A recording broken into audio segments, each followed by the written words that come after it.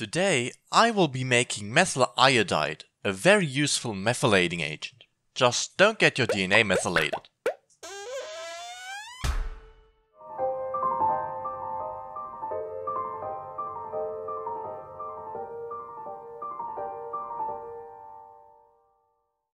Methyl iodide has a very wide range of uses.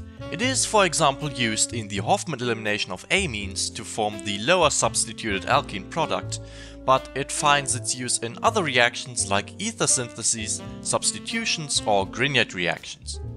I will be needing it for the synthesis of NN-dimethyl aniline, which is a precursor needed to make methyl orange. There are many ways to make halogenated alkanes. One of the most common methods is to reflux an alcohol in either hydrochloric or hydrobromic acid to substitute the alcohol group with the desired halide. Unfortunately, the methyl halides of chlorine and bromine are both gases at room temperature, which makes them rather difficult to handle, and hydroiodic acid will probably get you lots of friends in the government.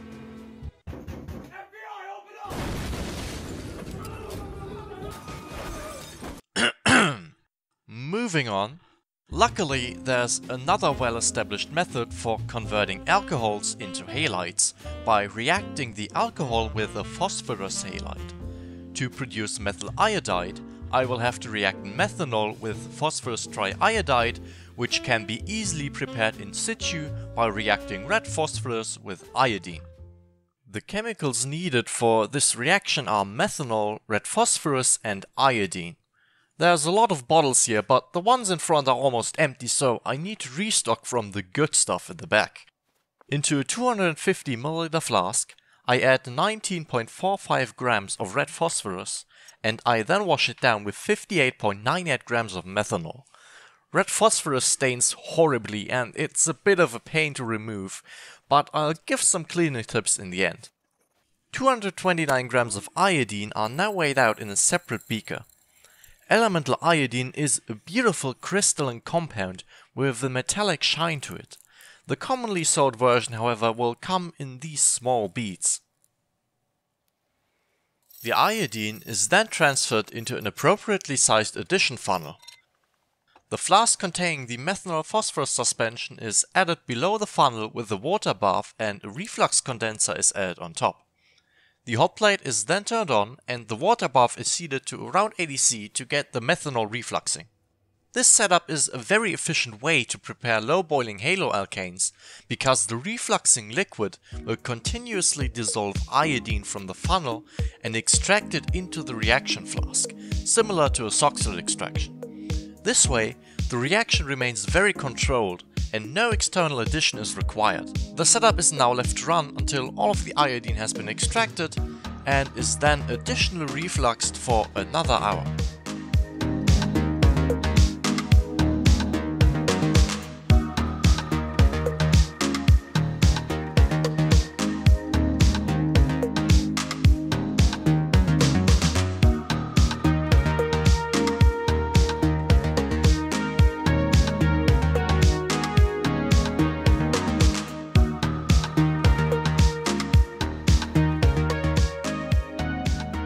Reaction is now finished and the product can directly be distilled from the raw reaction mix.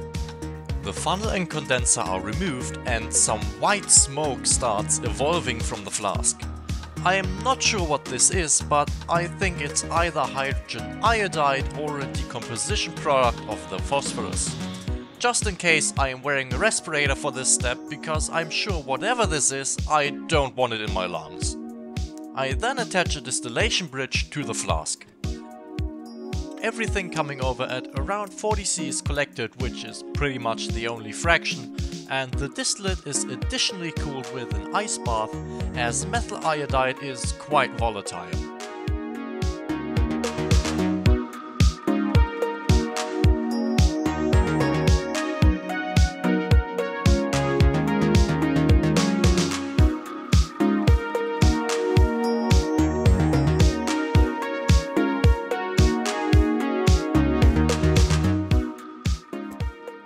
The end of the distillation we have about 50 milliliters of product and the flask just feels abnormally heavy. That's a pretty common iodine problem because it's just such a chunky atom, it makes everything that you add it to extremely thick. The distillate itself has a pretty strong brown color, which is due to some elemental iodine dissolved in it. So the product is cleaned with a small workup by washing it twice with saturated sodium chloride solution, which has a small amount of sodium thiosulfate dissolved in it. This will reduce any iodine and pull it into the aqueous phase. The product is then dried with the magnesium sulfate. At this point, if higher purity is required, it can be redistilled, but for my purposes this is pure enough. I now filter the product directly into a weighed and labeled storage bottle and we get to calculate the yield we have collected 137.7 grams of methyl iodide, which might sound like a lot, but don't forget that 123 grams of that come from the iodine alone. This also means that the yield is a rather disappointing 52%. This is really horrible. Usually it's somewhere above 70% for this reaction. It's not a big issue as it's enough for my purposes, but it's just sad because iodine isn't exactly cheap and I just lost 35 euros worth of yield. My guess is that either the methanol or phosphorus used here were a bit wet or contaminated as both of these chemicals were recycled from earlier experiments, which might have caused some unwanted side reactions. The bottle has a few pieces of copper in the bottom which prevent decomposition of the product, it should also be protected from light by storing it in an amber glass bottle and in a dark place. Now all that's left to do is the cleanup, but before we get to that, did this video get you excited to do some chemistry of your own? Or maybe you already have your own lab and you just realized that you still don't have enough glassware to satisfy your addiction. Cell Supplies is a small company which aims to provide high quality glassware to amateur scientists and is offering a 5% discount to you. So this is the perfect time to hoard even more flasks and beakers because you can just never have enough of those. Or you can get started with your first organic synthesis kit which includes everything you need to begin with your own experiments. They also sell various types of hot plates and even this unique pH indicator lab coat, so you can finally notice those pesky acid splashes, which always make random holes appear in your lab coats. Or you just forgot again which beaker you put your acid into. Details are in the description.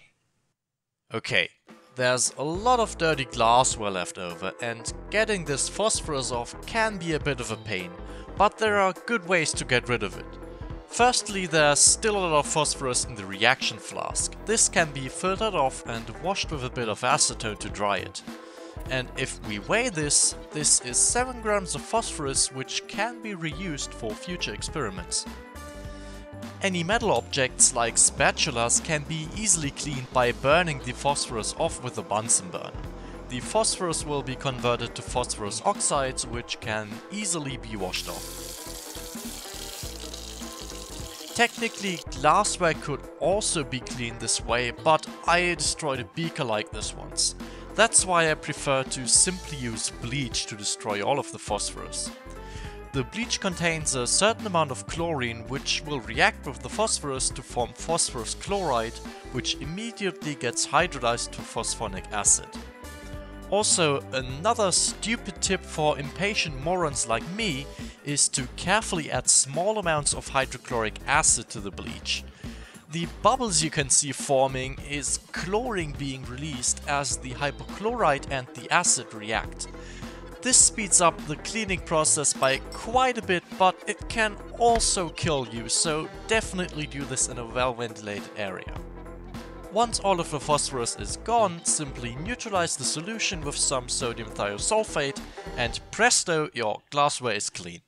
This concludes today's synthesis. The next video will be a bit longer again as we'll be making dimethyl aniline and tread closer towards methyl orange. Until then, I wish you all a pleasant day and stay tuned.